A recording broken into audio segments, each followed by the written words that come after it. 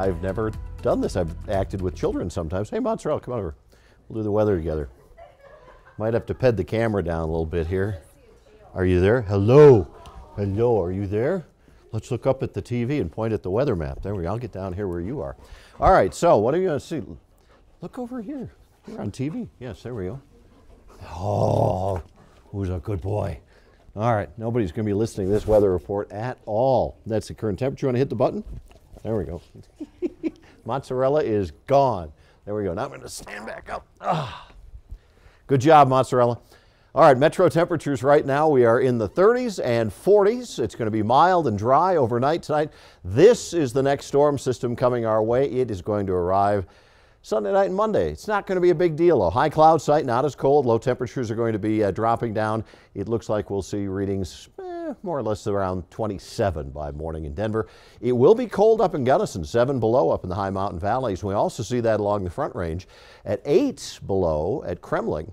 But in the metro area, it's going to be low to mid 30s and then some 20s, even a couple of teens farther to the north and east. Not as cold, some high clouds tomorrow morning. Midday, mostly sunny, mild and dry, and by the end of the day, it's going to be mostly clear and a nice Saturday for the Goldens and Golden and anything else you're doing. It's going to be upper 40s to low 50s at lower elevations. Again, a little cooler up across the northeast. Mountains, great for skiing with temperatures in the 30s.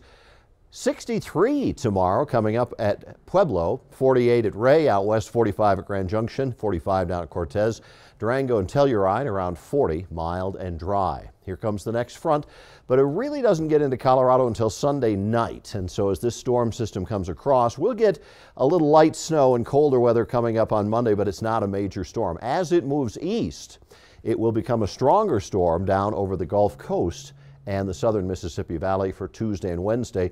Behind it, we clear sky, and then our next storm will be coming in here by Thursday. So on the seven day forecast, looks like this 52 tomorrow, mostly sunny. Clouds increase Sunday, but dry and mild with 50. We do get the snow Sunday night and Monday, but it's not a big storm. I'll step out of the way.